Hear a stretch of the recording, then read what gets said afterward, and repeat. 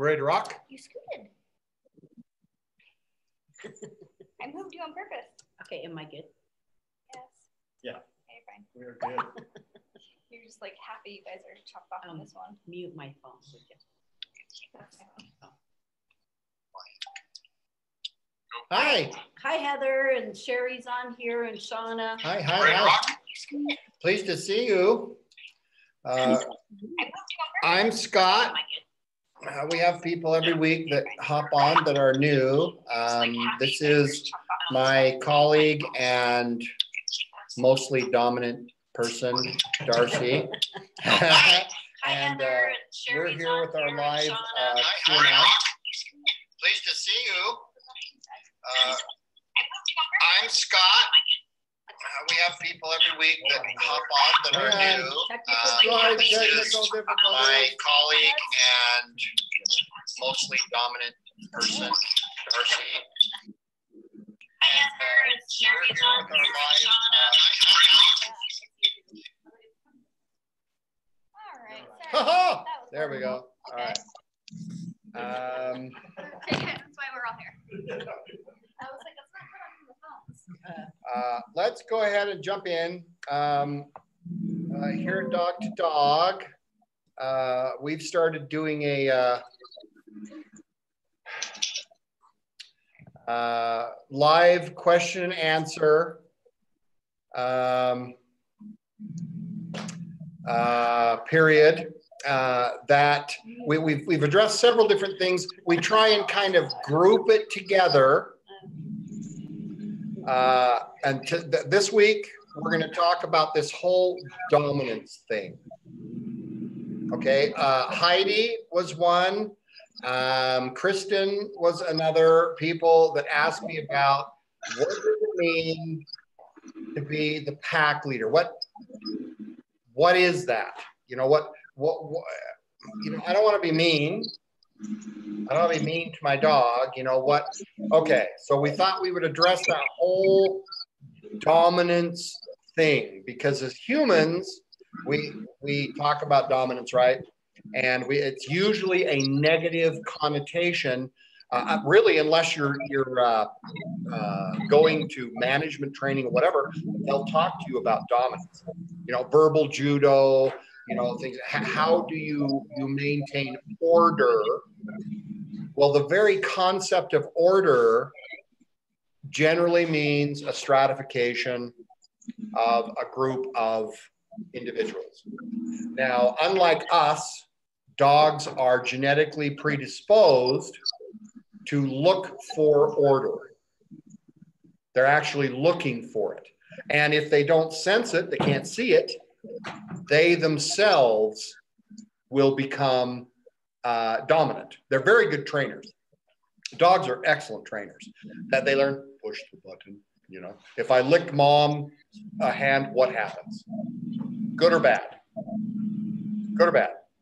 You know, oh, that's a good. Oh, I like that one, and that's how dogs uh, do. What are we looking at? Oh, so people who are watching, um, just make sure that you're muted. Yeah, Oh. So, so we don't hear what's going on at, at your house. Um, I'm just gonna s- do it so they can't. unmute. there we go. Okay, sweet. See, Us- is that awesome? Dog trainer. Dog trainer, yeah. Computer, not so much. Okay. All right. Now, dominance um, is a process by which the dog is uh, led to understand. It's important to understand that. Um, the term force is something that a lot of people struggle with. Um, we don't like to be forced. Uh, I don't. I don't. I don't like to be told. You know, that's uh, it's it's He kind really of a doesn't thing like told. you know, except for by the dominant uh, pack leader lady here. So that's one of those things that you lead the dog to understand something that they are genetically able to comprehend. They don't have an issue with being stratified because dogs uh, can't be equal. That's if you ever seen, you're always going to have a little bit of something. One or the other is going to consider itself dominant. Now, that doesn't mean that it's going to run all the time. When we talk about a drive running, that, that it's in the dog, it's manifest. There may only be certain times when a dog says, okay, that's enough. That's enough of that. And many of you will see that with your dogs. Say, yeah, that old dog over there, I mean, really, it doesn't care unless food, people, toys, something happens, right? You know, that's enough of that. And the young dog, whoa, okay, wow, that's, and you see your pack structure, you know. So, um, when we we're going to have a little demo too. We thought we we start throwing some demonstration in here uh, a little bit about this is now I've had people ask. We've had several bunches of questions come in that are directly related to obedience training. Um, that's this is that's not our platform for this. Um, we have our group obedience, uh, which has come out and it's online as well, where we actually talk you know, behavior modification. But we'll talk a little bit about dog handling, you know, h- how do you do certain things? Um, we'll throw some of that in here, here, here in a minute. Um, one of the things that's like when you're living in a household full of uh, multiple dogs. So um, Gypsy is female. She's an Airedale. She's going to be two. I have a Staffordshire Terrier who is 11, male. Um, and it's interesting. They have a very, uh, you know, complicated. complicated relationship. No, um, but they're very packy. They really like each other. But it's always fascinating for me to see Gypsy because it's a matriarchal society, how she uh, reminds Joe often that she is the boss of him. you know i'm the boss of everybody but you know we don't get uh, involved in pack um, you know politics that much um, unless you know you're talking about fighting on turf and things like that uh, we can't have that but just the way she body postures with him uh, the way she'll um, you know he'll he'll be getting off the couch and then he's going to go into his crate well, she decides, no, that is my crate, and she cuts him off and goes in. So it's kind of fascinating if you start to watch um, your dogs. If you have multiple dogs, you can kind of start to see how they um, are that way with each other. Uh, so when I was in Costa Rica, I went to a dog rescue, and see, it's just a big, huge fenced off area, and you could see the dogs some of them were higher, but and some of them were like down on the ground.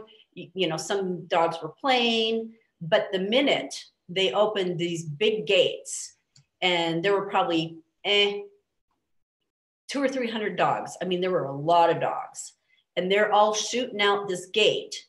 You could see who dog number one was down to the very end. And there was a dog that was squirting in front of another dog uh, they had a discussion and one was bleeding. So it's it's it's fascinating if you get a chance to actually see dogs do this kind of thing. Let's explain that. Okay. Why is dominance or or being in a position as a, a dominant individual in a pack or, or what the dog perceives as the pack, regardless of what we call it, so important. Let's take that very example uh, a door, a portal. Okay, that we don't think about it too much, but how many of you, you know, say, yeah, I try and go out the door, my dog crashes past me or drags me out, or I have to drag them out, or whatever. Now, let's, before we do human dog, let's do dog dog, dog to dog. okay, so we have the door, and you generally speaking, are going to be able to tell what your pack order is. Now, Darce has mentioned with dogs, right? This will be cross species. Dogs will act this way with little children, with adults, with I mean whatever. That's if there are not if it's not multiple dogs, you're going to see pack behavior with living creatures there, cats, what whatever. You know where the dog says no, you're, not going to go into my space before I do because that is my sign that you know I I am in charge of that. I rank above you. So I've seen some really gruesome uh, fighting people say, I don't understand, Scott. I, I, I don't understand how that happened. They get along so well together. Well, until you change environment, venue. And in that little space, which is a door, every living thing has to go in and out of that space. Dogs don't do doors. That, that's not that's a human thing. So you create an artificial field, if you will, to where the dog has a, a purpose to say, I go for through first. Just like you see a pack of wolves, there's stuff on Facebook. You see, you know, how the wolves are are stratified according to who's first. What there's a reason for all of it. Does it mean that the pack leader administrator is always at the front? Not necessarily. It's just law depending on what's safest. Now, the word pack leader for so many, especially him, figured that's the toughest dog. Data has shown, and I've observed, Darcy observed, that's not always the case. Um, your, your leaders are often the best administrators. They're the best providers. They're the best mothers and fathers. And they'll have a series of animals underneath them that are ranked that you could call, uh, should we call them royalty? That's, I mean, I don't know another word, right? They're assistants. And they often will be involved in making sure that the pack structure stays the way it is. Because pack mama, pack dad have to be that's they are the providers. That they're that's they genetically puppies are produced that's the whole deal. So for a dog it's very much a biological need. That's that, that is something that they look for. They don't understand okay? I've got three dogs we have Fluffy, Fifi, and Fufu, right? Okay, and we say, Uh, all right, we're going to give Fluffy a treat, and we're going to give Fifi a treat, and we're going to give Fufu a treat. Well, Fluffy doesn't like Fufu. Okay, she she's Omega, she's at the bottom, and you'll see this. You know, Fluffy starts to get a little weird. You know, about you saying no, we're all friends together, right? Well, sooner or later, shortly thereafter, Fluffy has words with Fufu. Okay, whether there's Fang or whatever, but the dogs will make sure, yeah, the human's pretty weird, you know, that's fine, but I'm the boss. So you don't sit next to mom in the chair when I want to sit next to mom. Now, being ultimate pack leaders, that's what you are as humans, or should be you can control who does what. That, that that's your kings and queens. That that's your deal. Just understand that to the dog, that doesn't make sense, and you can get spats. They can become scrappy, right? Um, and depending on your dog, all dogs are different, and all humans are different. All homes are different. So you're you're going to have varying ways that that happens. Well, so often how we are with our dogs is not the behavior of an administrator.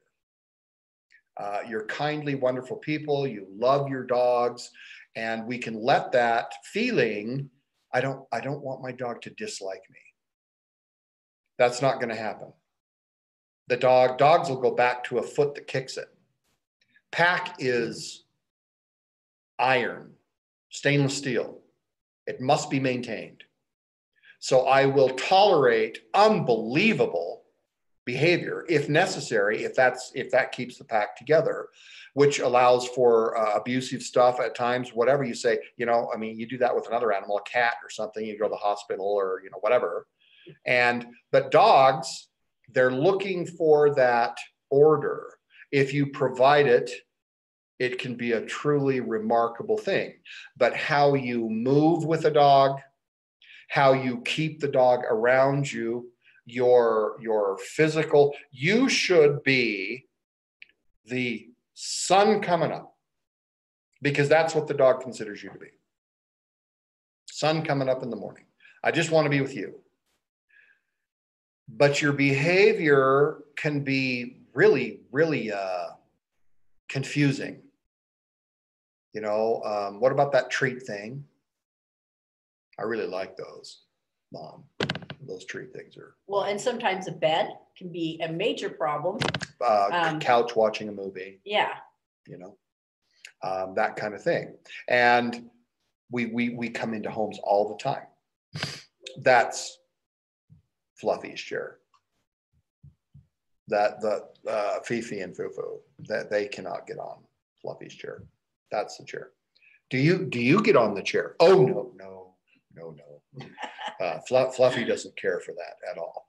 So we go. That's so funny. You know whatever what's happened is you start to see what your pack structure is. So when Fluffy does something uh, outrageous, okay, pees on your bed, right, poops in a slipper, um, eats your flip flop, whatever, you know, and you act, right? Ah, what are you doing? And whatever. And Fluffy whips around, excuse me, back off you know well we're mad so we we're ignoring you know don't you whatever and sometimes uh, we can have some unfortunate behaviors that then everybody's freaking out and saying the dog is aggressive or you know whatever and the, as you we swing you know the pendulum my favorite fluffy is now evil fluffy you know and the you're guys no it's not you, you just have to reorganize um, the pack. Now, what in our training, what we, we talk about, we have two in, in, in all of our training, you have two things always. You have behavior modification, which is rearranging the pieces on the chessboard, so to speak, so that you can see, you know, the dog can start to, oh, you, oh, yeah, you're kind of the boss person. Yes. Life giver, right here. We, we, we are life givers. And, you know, and so like with the feeding ritual, see, when Gypsy was six weeks old, I brought her home. And in about eight weeks, I started a feeding ritual. Ex- go ahead and explain that. Go ahead and take them through the feeding ritual. Yeah, so a feeding ritual is uh, I, I do this for the life of the dog because I am setting up. I feed twice a day. Some people feed once a day. It doesn't really matter. But twice a day, I do a feeding rit- ritual with my dogs where um, I have them always at least sitting, and then I put their food outside of their reach, and I count to 30 seconds. Um, and so there's ways that we teach you how to control all that. But because I've been doing it so long with them, see, they just know the drill. So they come off the food and they're looking at me. Um, I have a release word. I use the word okay. I don't care what word you would use. But in that moment, twice a day, I remind my dogs that I am the one who administers the food. I'm the life giver. Um, and so it, I mean, it, it does multitude of things, tells me about the health of the dog. If dogs come off food for a certain amount of time, that gives me a clue. So there's other reasons I do it, but my main one is to uh, just remind and establish every time I feed that I am the queen and I am the one who administers the food. Uh, dogs don't give each other food. Um, even in a teeny little uh, tank, um, it was at a pet store um, in Kentucky or something like that I was at. And there were uh, nine week old puppies in this tank and it was feeding time. Um, I have an issue with that for other reasons, but it was fascinating on a behavioral standpoint because they put the food in and I could see dog number one. These are little puppies going in and eating to the very last one. There were six of them. Um, and I could see how they ranked by how they approached the food and they were mannerly and weighted. So even dogs do that. Yes. And uh, the object is to communicate with your dog in a manner that they understand. And in the feeding ritual, one of the the more interesting challenges as a dog trainer you know getting you know i want my dog to find bombs or, or, or, narcotics or you know lost people or or i want my dog to lead me around because i'm sight impaired you know or i'm in a wheelchair whatever every single thing is founded on the dog's behavior and the, how the dog sees you um, now are, are, is there only one way to train? Of course not. That is, people are all thinking, trying, you know, how can I get this behavior modified? How can I manage certain behaviors? But if the dog doesn't see you as someone to be listened to, you're going to start off, you're going to have trouble right off the bat. That, that I mean, you're just going to have trouble. And in the feeding ritual, you come really, really close to virtually perfect communication because the dog knows what you're doing. Biologically, they know what you're doing.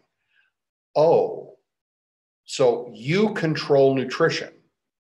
Yes, I control everything. Actually, I control your toys and your bedding space and everything else. Because the minute a dog thinks that you have ceded any of that to them, and we have, as an example, a child. We go over and Fluffy, we're back to Fluffy, evil Fluffy now. Fluffy is eating, and the child tries to go in, rah, rah, rah, you know, whatever. Ah, Fluffy is aggressive. Oh my gosh, she hates children, whatever. No, that's not the case.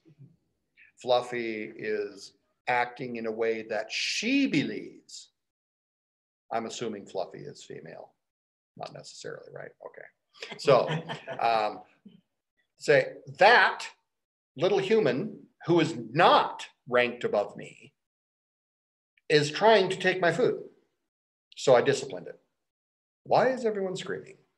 You know, what's the big deal? Guys, the, the do- dogs, that's how dogs are with each other. There, there is, and if you change venue, I worked at a kennel for a while you know, for, for a very good friend of mine. And uh, I did it kind of as a favor. It, it was fun. You know, I was, I was a professional at the time, but she needs some help. I was amazed. Lady comes in with five, count them, five poodles, standard poodles, oh. right? Okay, they're they're beautiful animals, beautiful animals. And I was really interested. They come in, they're like sheep around her. You know, they really wouldn't get more than four or five feet. And I'm thinking, okay, I wonder what they're going to be like when she leaves. She says, Oh, don't worry. You know, we kennel them and stuff. No problem. Sure enough, I take them back in the kennel. You know, they all go back and they're just, they were the sweetest dogs. And she said, You could, don't worry about feeding them, you know, separate and stuff, you know, but they've all, they all eat together. There's no problem. And I thought, hmm, hmm that this should be interesting because we're not home now. New turf. We're on new turf right? Oh my goodness. It took them two days to figure out, and yes, I did have to feed them separately. They, they would they would not tolerate that. Now, isn't that interesting? And that's where we see a biological response that is not, it has nothing to do with being obnoxious or whatever. It is the dog establishing rank again because we're on new turf. You'll see this at dog parks, you'll see it camping, whatever. So I don't know what happened to my dog. You introduced it to someplace different. The dog doesn't know what the pack is here or what the structure is. And depending on your dog, whether they're dominant or subordinate or whatever, will depend on what the behavior is. We see it every time we do a group lesson and on our Saturday confidence and emergence yeah, you'll see dogs coming in. Um, you know, we always have them leashed because we have a very controlled environment. But you, I mean, eye contact, body posture. Uh, there are dogs that do not like each other, and so uh, you know, if uh, we, yeah, I they're mean, bigots, man. It's it's really disturbing. but you're hey, look, we have people ask us all the time. I have professionals. I've, I've been in this forever, you know, 36 years. And I have people come and say, I don't know, I don't know how you guys are doing that. You know, that you bring all these people, and we've got new ones coming in, and we've got people who've been coming for years and stuff. We have dogs that we know are snarky about other dogs, whatever. How are you doing that? This is how we are teaching the humans how to be administrators, how to be dominant, so that when the dog receives stimulus, this, guys, if you don't take anything else away, if you establish correct pack paradigm where you are a dominant figure and the dog respects you, trusts you, then stimulus comes into the dog, and what does the dog do? Looks at you. See? So here's Fluffy again, right? But not evil Fluffy. This Fluffy has had dog to dog training. okay, so eat, eat, eat, right? Here comes the, the child. La, la, la, and we get into the food. There is no reaction to the child. The dog backs away from the food and looks up at the handler, at the owner. Uh, yeah, that's that's a puppy of mine and they pretty much can do what they want. Now, your we don't get involved. Usually, we try not to get involved between parents and children and how you raise your children and stuff. You would, wouldn't believe what they ask dog trainers to do. Um, you cannot afford us to train your children, you know. So, so please don't ask. But it's people do. You know, how do I?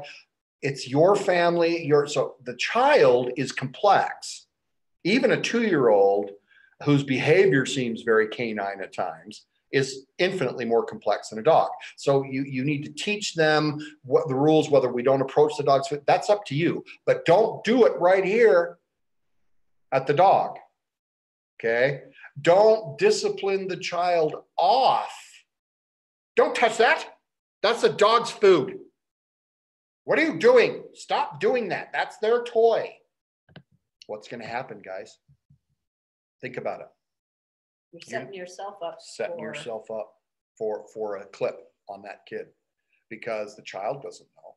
They go in, you know, food, toy, whatever, and the dog says, "Well, the pack leader said this is mine, so back off." The child has no idea. They don't know. You know, they don't know the flags. Dogs don't lie. You know, ears, tail, get er, stop doing that, and boom, we've got a problem. Oh, that fluffy is evil fluffy again. You know, whatever. Okay, so that's that's why dominance, uh, an appropriate stance with your dog is so important because truly, the dog is genetically predisposed to be mannerly. That they with within a pack structure, dog dogs will fit like I've said. You know, puzzle piece. Uh, where do I belong? I just love you. You know, I just love the sun coming up in the morning. I just love you. So now we had, uh, I have a question that just came up uh, just in the last little bit. What do I do with a dog fight? Okay, that's let, let's say that it just has gone south. What do I do? Number one, do not try and put yourself between the fighting dogs. Okay, I've seen a lot of people. I mean, I've you know I've been involved in combat dogs, patrol dogs. You know, you don't don't go in there. That's not. They are in the midst, and you're going to get clipped. You're going to get bit, and some of those could be crappy. You know, that's I mean, and you I mean, guys, dog bites are way worse. It's not just a hole in you; it's compression or whatever. So, um, if I've seen people grab a tail. Um, tails are are i mean i've seen people you know try and grab the dog. That is the proper principle but the problem with grabbing a tail number one the dog may not have one. Number two it's a little far back on the dog's body and the dog can turn the length of its body. So they're still in fight mode. Something grabs them by the tail. You might have the dog come back along its body and it's most displeased about what's going on Okay. So generally speaking, don't number one, don't don't go in. You know, that's easy to say, right? But you're, you know, you're you could really get hurt trying to separate dogs if you don't know what you're doing. Number two, okay, let's say you're going to give it a shot. You grab the dogs from the back, just in front of the hind legs, and pull and lift. It's called the wheelbarrow. Does that make sense? Wheelbarrow the dog. Lift those hind legs off the ground and step two steps back. The dog will be virtually helpless. You're far enough up into the dog's body, we call it. They really can't get at you. And if they try, you just lift and the head stays, they're only sharp on one end. I will tell you that I've had that happen with a Malinois and no one was there to help me. So I was, hello, standing there holding this dog by its butt. Will someone please come and help me? You know, please, someone come and help me. And he's, oh my goodness, it's like a tiger by the tail type thing, right? But separating them off, and you often can swing them away so you you get contact. Uh, uh, you stop the actual contact between the two dogs. Because then you're standing you have the other dog by the the hind and you can turn side. The other dog may or may you know come off because now a human's involved. Um, if it's more serious than that that you're gonna need some help. You know i mean that's generally the case. A uh, big stick you know people say you know pick up as a tr- try and keep multiple dogs from coming in. But it's it's best okay having said all that it's best to prevent that incident. And, and we talk all the time about you're going to either uh, be proactive, you're going to like uh, look around, you're going to make choices to keep yourself out of a bad spot instead of just having to uh, make decisions on the fly and you're in a bad place. See, um, it's it's it's crappy when you do that. Go yeah, we talk about going in where angels fear to tread. Yeah. I mean, not only being surprised because your recon uh, or your your observation hasn't been appropriate, Been but there, doing it on purpose. Uh, now, this this is not look. We just love you guys. You know, we think you're great, but we know that humans sometimes be kind of stubborn right? So we may be, that dog's not the boss of me. I'm going to take that dog past that fence where those dogs are, you know, on the fence. Don't. Uh, why? What, what do you have to, what, well, I'm proving that you're, you are not. You're walking into stimulus that overcomes your ability. And we just had really good people you know i got bit like two or three times and we couldn't we didn't know what to do. Exactly. That's exactly right. Um, so always always know where you're going avoid those places where something like that could happen we're not telling you we don't want it to come to you it could uh, well, I'm out walking and I have my dog on a leash. I'm being lawful or whatever, and somebody lets a dog out and it's not on a leash. And folks, it's going to happen. So if it's a little dog, pick it up. Okay. Don't cross your fingers and hope to die and say, oh, I hope they get along. Dogs all get along, right? I, man, if I had a dollar for every time somebody saw, I, I, I thought dogs all got along. They do not. They do not. They don't.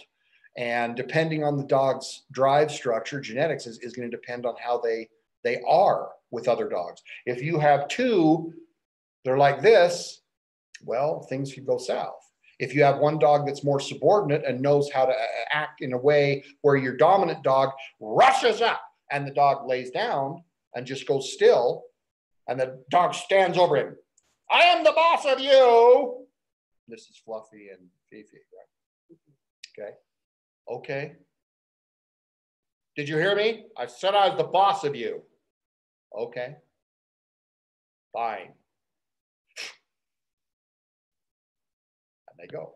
And then sometimes, uh, if, you're talking about dog parks and you're looking for the whole thing um, when it comes to dominance, uh, be aware. because I've been in a dog park um, there with a client, and two dogs came in, um, and the whole energy of the park changed. And all the humans are clumped together. Nobody's paying attention to the dogs. Um, I had my Staffordshire Terrier there, a born gladiator. Um, he's sweet as the day is long, but he did not like the way these dogs were being, and I didn't let I didn't want to open the door in his head, like these dogs are poking all the dogs trying to start something. Um, and so then I call him over and clip him up. And then the people in the park are like saying, hey, let your dog play. See, that's when you have to feel and know what to do. Yeah, it's not play. It's not play. And it wasn't fun. And I didn't like what I was seeing. And so I just clipped up my dog and we left. But you have to be aware. Uh, Yeah, dog, pl- play's pretty obvious, right? yeah, I mean, it's not, Darcy's a professional. So you're, you're not saying, oh, maybe I'm mistaken, you know, whatever. There's play, levels of play, progressively rougher. the fine line. Play has purpose. Play is non combat, dominant discretion. Okay, so dogs figure out where they are without fighting. Duh, you know, dogs don't have to fight to do to do dominance. How they and you'll see older dogs and stuff, the play will get a little bit rougher, and all of a sudden they'll go dominant. Ah, hey, oh right, sorry, whatever, and they go go off and play some more. But there's a fine line at the top between play and combat. You know, where neither dog is going to back off, the play goes stiff, we call it. You've seen it, tail up, stop wagging, uh, you know, and now, guys, that's one of those places, you, you know, you, you can't.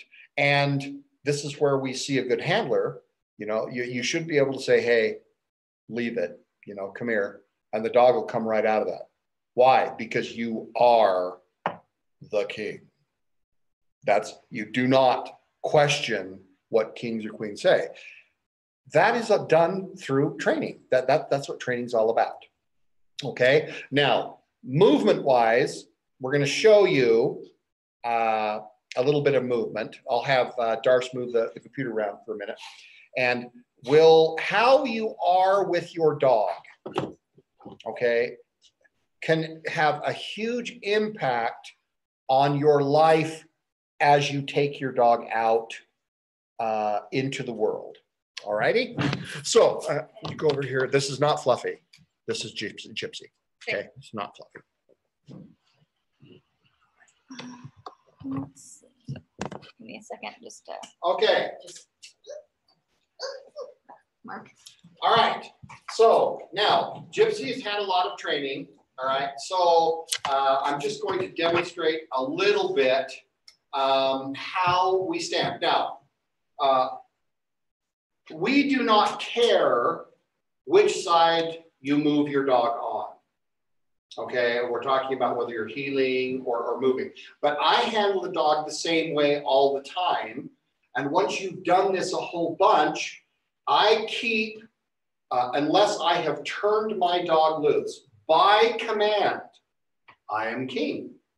So I will say, you know, you can go play, you know, do whatever, right? Um, but if the dog is with me otherwise, then I'm going to have my power hand right here. I'm going to have my feel for the leash. So I know I'm not even looking at the dog.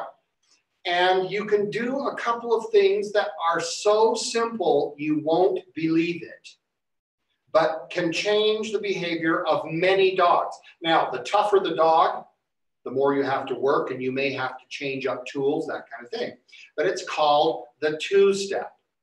Okay, so all of your strength is right here, right across your hips. Okay, so we're not up here. Or I'm not doing the suicide wrap. Ah, look at me now. I know there's you out there. Okay, this can be bad. Okay, Gypsy weighs 65 pounds, and if you put her in a harness and tied her to a car, she'd probably pull it up the street, especially if I had a ball in front of her. Okay, so We, we don't want to be struggling or fighting static combat with the dog. Ooh, ah, ooh, ah. Right? Stop that. You know, the dog's hacking and gorking, you know, whatever. Okay, so we keep the dog right here at our hips and we step back and we step forward and we step back and we step forward and we step back and we give her a command. Sit. Which she knows. Okay, that is a subordinate posture. All right, Gypsy knows. That little teeny thing, shoulders up, eyes up, never even looked at the dog, you can do now. I call it the two step. that's because that's what I call it. Okay, you could do three. One, two, three, one, two, three. Beware of what's behind you when you do something like this. We call this active, passive, weird, right? Two completely separate things. Dominance. Why is it active? Because I'm moving and I'm keeping the dog pinned right here. Okay. I've seen people who say, well, somebody told me to tie the dog to my belt. That's way too much room. Guys, it's too much room. You know, the dog, I want the dog right here. This space is sacred. It is a place where the dog can come to and will come to to be loved and whatever. So we teach the dog if you see something that you don't understand, I want you right here. This is the deal. That's part of, of training. So in your own home, you won't believe it. You get in the kitchen or the living room, one, two, three, one, two, three. Don't, don't worry about it being pretty. That's it, guys, no one's judging you. All you're doing is moving and proving to the dog, see, now she'll try and pull the collar out. No, I want you closer to. Always. That's what I want to do with you when I'm when I'm with you. I'm not going to let you be on one of them stringy leashes and you're at the farmer's market and the dog is 14 feet away across the way interacting with another dog, much to the chagrin of that dog's handler. You know, whatever. Oh, I thought all dogs get along. No. So this is about manners and it's about I move, you move. I stop, you sit. So what we do, sit forward, up, and we go backwards like this, and we come forward like this, sit up on the collar, down on the butt, and pat, pat, pat, pat, pat, pat. And she shakes it off. I'm sorry, I'm cutting my head off. Okay, so how you are with your dog is one of the many variants to establish law. This is just law. Guys, it's law. You know, not, you know, yeah, he wants to go over here. Of course, because you're, you're not the administrator. The dog wants to be elsewhere. Come on, human, stupid, let's go. The whole world smells like ambrosia including pee and poo and dead things and bugs and work, you know, whatever. So they're going to go from ooh, ah, ooh, ah. No, don't do that. You're with me. I will, when I'm ready, turn you loose to be a dog, and then we will resume our relationship, which is me, you, the handler, as the dominant administrator, and we have law brings order right? Order brings confidence. Confidence brings trust, and trust brings joy. Gypsy trusts me. She's, you know, I mean, she's my friend. Now, we have a credo uh, that came from the people who taught me many decades ago. It is the first of the training credos in service dog work. The dog is your friend. We will not use compulsive measures, a collar or anything else, except to enforce the law. We must. The law is as critical to the dog as it is to us. And we will insist, we will enforce law. My second credo, which I live by, if there's no reason to say no, say yes. Think about that, parents. If there's no reason to say no, if you don't have a reason to say no, say yes. You'll be surprised what the world's like with you. I let a dog be a dog. At my home, my dogs are dogs. If I speak, I only do so if I need to. There's a reason for it. You know, get off the couch, stop doing that. You know, my three legged American Bulldog mix, Trike. You like that name. That's better, fluffy, I think. But he nurses on the blanket on the couch. It is something that is common in the Mastiffs, where you can hear him. He's sucking on my blanket. You know, stop that. You know, leave it. And he looks at me with those eyes. Oh my gosh. Is it life or death for me? No. He just happened to annoy me enough that I can hear it over the movie I'm trying to watch, right? So I'm not going to be as tough on that as I am on bolting out the front door, which is a safety issue jumping up on guests, which can also be a safety issue. It's an annoyance until the first guest goes, oh my gosh, steps backward and it's a step. And they go down the front steps. It's grandma coming up from her apartment downstairs. These are all true stories. And the dog jumps toward grandma, she steps back, and she goes down the stairs. Then, generally speaking, after all of the heartache and or injury and or anger or whatever, it's the dog that it's going to it's going to take in the chops. In order to preserve a family, in order to preserve whatever neighbors, whatever, it's the dog that's going to pay. That's that's just the way it is. So it's best to be proactive. Darce mentioned that, right?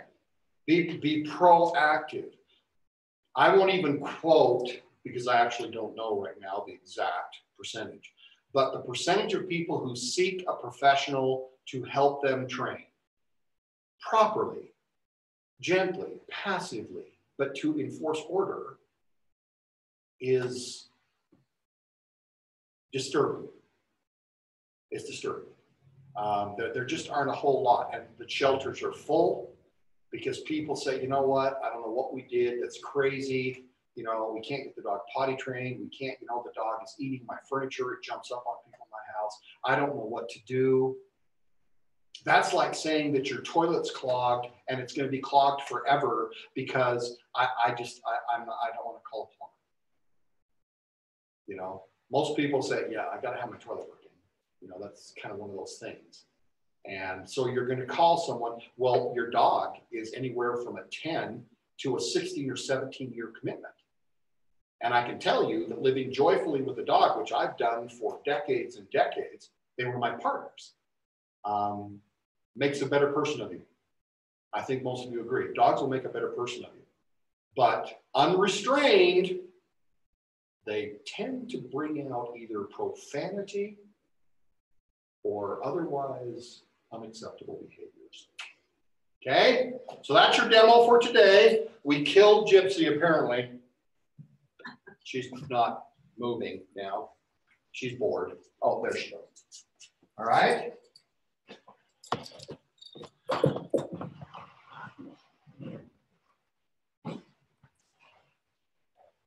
Please send questions here Okay, uh, Dog 2 Dog on our Facebook page. You can send them there as well. Um, we have questions all the time. Uh, we will be doing a uh, something that is along the lines of a kids camp. Um, we, we find children delightful and uh, we will strive to answer their questions which are not the questions adult, adults ask. They are open and pure, and they tend to want to know why a dog pees like they do. Why does a dog lift its leg? You know, why does a dog eat poop? You know, whatever. And they're just open. So it's a place where kids and families will be able to learn. Um, that will be launching here in certainly within the next 30 days. Uh, we would invite you to to uh, spread that out. We want to make that. We just really, really like working with kids and with dogs. So that's one of the things. Our group. Uh, we invite you to our group obedience.